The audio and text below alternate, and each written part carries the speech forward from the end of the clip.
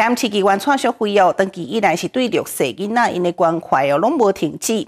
机关创小会一中到都邀请到爱心朋友啦，指挥来参与这个暖心的餐食、欢乐共餐的这活动。加总共有六十四位国小的小朋友，指挥来度过一个快乐的午餐时光。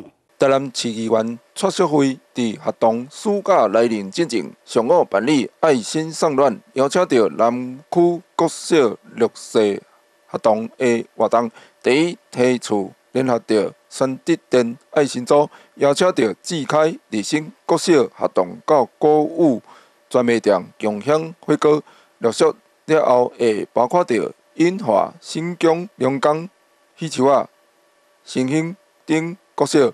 邀请享用到美味的火锅。我们这个活动从今天开始以后，有很多的呃热心人士，大家能够共襄盛举，大家一起来举办。那除了全德店呃的协力支持以外，我想我们后续，譬如说我们的当董事长也是我们东滨爱心会的呃理事长，他后续也会认养一场。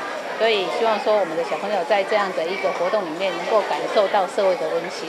全德店委员陈秋宽表示，这次做伙参与。暖心的餐食、欢乐用餐的活动，甲国小学童共度快乐的用餐时间，心情非常的快乐。谢谢蔡议员有呃举办这个活动，让我们能够参与，呃，然后对社会做点贡献。台南市南区立新国小校长徐俊雄表示，感谢市议员蔡小辉关怀以及爱护着囡仔。互小朋友感受到社会的温暖，相信囡仔大汉了后也有能力，也会传承着爱心，并回馈着社会。也彰显出就是呃社会对他们的一个爱心，跟归归他们的一个孩子的关怀的部分。啊也特别在此也代表孩子们感谢我们的议员哈。议员蔡小伟说明，希望借由这次活动的办理来抛砖引玉，希望更加侪人来参与爱心的活动。